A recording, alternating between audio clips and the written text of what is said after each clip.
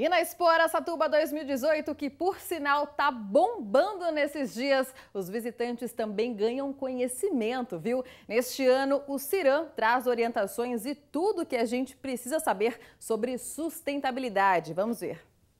Um dos temas mais abordados nesta edição da Exposição Agropecuária de Araçatuba é a sustentabilidade e o Ciran caprichou neste ano na programação. Fábio Brancato, diz pra gente de onde surgiu a ideia desse tema. Ah, o tema sustentabilidade é um tema muito recente e é uma atualidade, né? Então nós trouxemos como tema principal a sustentabilidade. Nós trouxemos energia fotovoltaica que nós estamos vendo aqui, nós trouxemos a fazendinha, essa fazendinha ela está sendo tocada por esses painéis fotovoltaicos. Então mostra que o produtor tem toda a sintonia entre produzir e respeitar o meio ambiente. Outra novidade que nós trouxemos também foi a aquaponia, que é a criação criação de peixes juntamente com hortaliças.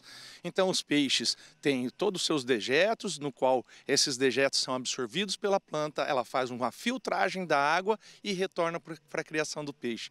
A sustentabilidade no Brasil está sendo muito cobrada e nós estamos fazendo a nossa parte, que é mostrar ao produtor, venha, venha ver essa sustentabilidade, aprender, vão ter mesa redonda, as pessoas esclarecendo o que, que é isso, o que, que é aquilo, e nós temos aqui também a maior orquídea do mundo, está sendo exposta na 59ª exposição. É uma novidade, né, esse tema esse ano. É, nós trouxemos várias novidades, né? Nós, nós é, fizemos o quê? O resgate do agronegócio, né?